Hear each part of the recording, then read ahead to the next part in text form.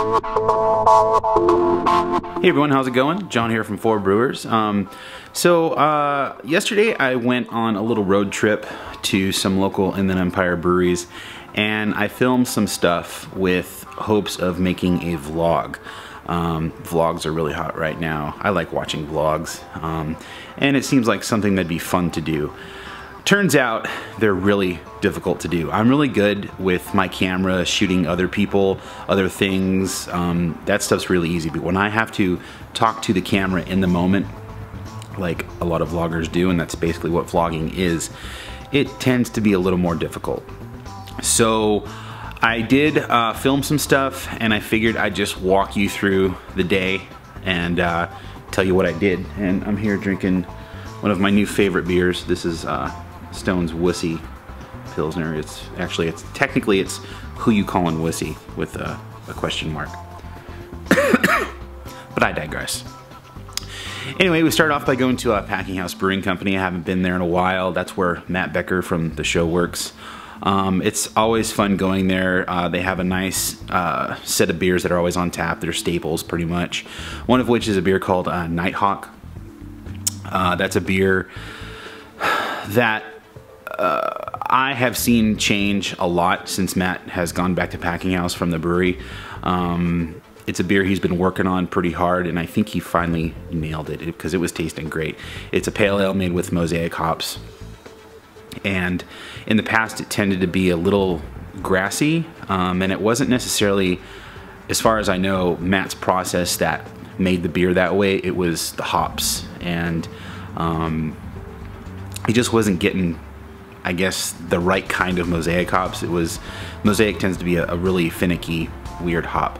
So, uh, but this last batch, he I forgot where Sam. I met up with Sam there also. He's uh, one of the owners of Packinghouse.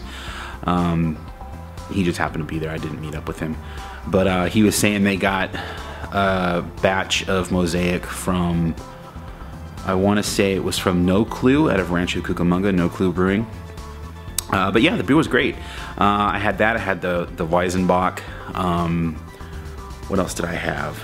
And I think just the IPA, and everything was just really solid. So good job, Matt. Um, after that, I met up with John Wrighty at Electric Brewing in uh, Murrieta, California. If you haven't heard of Electric Brewing yet, we're probably going to be doing a show there. Um, but they're an all-electric brew house, which is really cool. You don't see that a whole lot as far as I know, I haven't anyway. And they brew a lot of those New England hazy IPAs. Um, they're not full blown hazy IPAs as far as I can tell. It looks like to me they're kind of a West Coast hazy IPA thing that they're doing. But they make really good beer, and on top of that, they've got good stouts and stuff like that. And they're doing some uh, some barrel aging. I don't know of what, um, but they got some barrels in there too. So uh, they're a fairly new brewery and they're totally worth checking out. Um, and then right down the street from Electric Brewing is Inland Wharf, which uh, I was there last weekend with uh, Greg Nagel. He um, wrote a little article for Orange Coast about his visit there, but um, we met up there. I had to pick some stuff up from Inland Wharf and they do all cask ales. Um, and by all cask ales, I mean they their ultimate goal is to be a cask ale brewery, um, but those same beers that they have on cask, I think generally they also have on uh, carbon dioxide, CO2, on tap. So you can have a cask version and you can have um, a CO2 version. And then they have one West Coast IPA that's not a cask IPA, as far as I know. It's just a straight up West Coast IPA. And it's really good.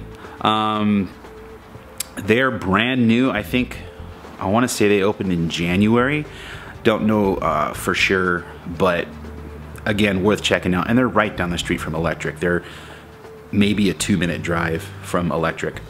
Um, so yeah, that was pretty much all we did. Um, didn't go to any other breweries after that. Uh, so um, I hope to do more of these. Uh, it seems kind of awkward right now, but um, when I think more of the guys are involved, like Jason and Matt and Greg, um, they'll obviously be better because I'm kind of boring to watch on camera. But uh, it's fun going to these places and uh, filming there and um, you know, playing with my camera, and that's ultimately what I like to do is I like to record stuff on my camera, I like to take photos, I like to do all that stuff. So hope you enjoyed the video. Uh, I, will be doing more here and there, like I said, um, when I'm around Jason and Matt and Greg. Uh, so yeah, thanks for watching.